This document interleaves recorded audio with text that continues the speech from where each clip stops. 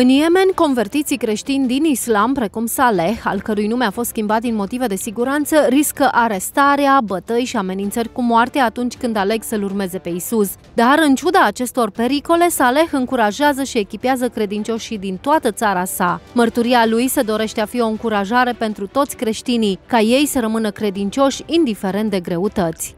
Numele meu se află pe lista celor mai căutați de către islamiștii radicali. Au chiar și o poză cu mine. Uneori mă urmăresc mergând din loc în loc. De cele mai multe ori mă opresc și mă amenință, încercând în felul acesta să mă oprească să slujesc. Cu cât primesc mai multe amenințări, cu atât sunt mai dornic să predic și mai mult. În Yemen, cei care se convertesc la creștinism asemenea lui Saleh riscă să fie arestați, bătuți și amenințați cu moartea atunci când aleg să-L urmeze pe Isus. Cu toate acestea, Saleh și fratele său au decis să înceapă o biserică clandestină în casă pentru credincioșii din zonă.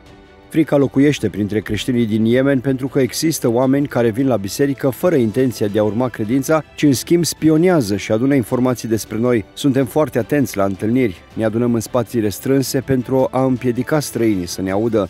Într-una dintre zile am avut noi credincioși din altă localitate care aveau nevoie de cateheză și botez, așadar fratele meu și cu mine ne-am sfătuit cum să facem. Până la urmă am decis că nu trebuie să-l însoțesc pentru că eram prea cunoscut, reprezentam un risc prea mare pentru ei. Când au terminat cateheza, au decis să se mute în altă localitate pentru botez, așa că au luat un autobuz și au început călătoria. Mi-au trimis mesaje pentru o vreme, dar după aceea am pierdut contactul cu ei. Saleh era îngrozit de ceea ce s-ar fi putut întâmpla cu fratele și prietenul său în acea seară. A primit informații că au fost prinși și arestați.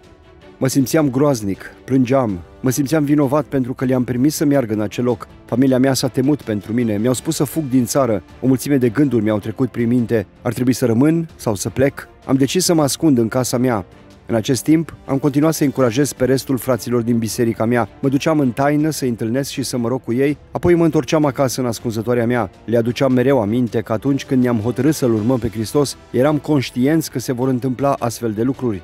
După câteva luni, fratele și prietenul lui Saleh au fost eliberați în mod miraculos din închisoare. Prin mărturia lor, alți prizonieri ajunseseră la credința în Isus.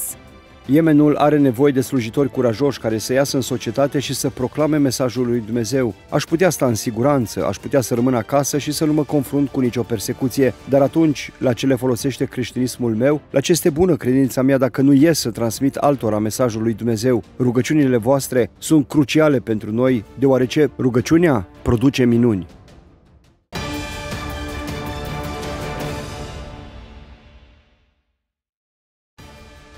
În urmă cu o lună de zile, chiar de Crăciun, militanții islamiști au atacat mai multe sate creștine din Nigeria. Atacurile au avut loc la primele ore ale zilei de Crăciun și cel puțin 113 persoane au fost ucise, mulți alții au fost răniți sau le-au fost incendiate casele. În următorul material video, registrat de partenerii locali Open Doors din regiune, supraviețuitorii își împărtășesc experiențele.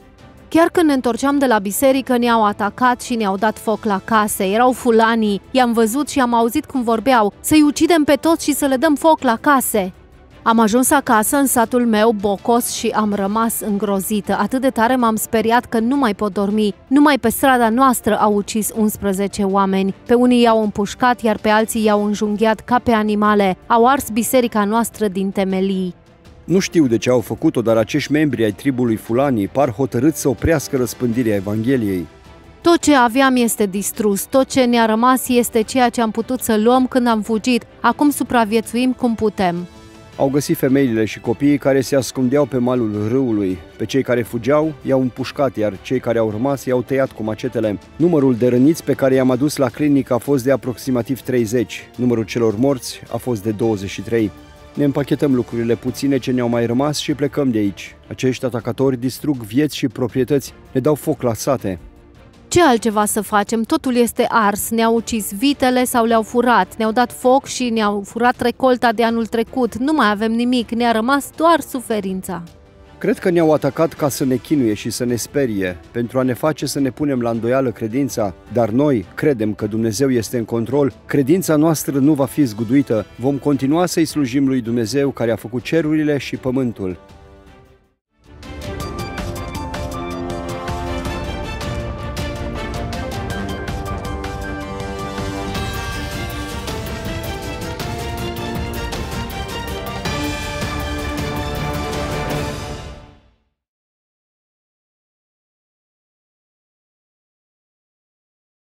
Oh,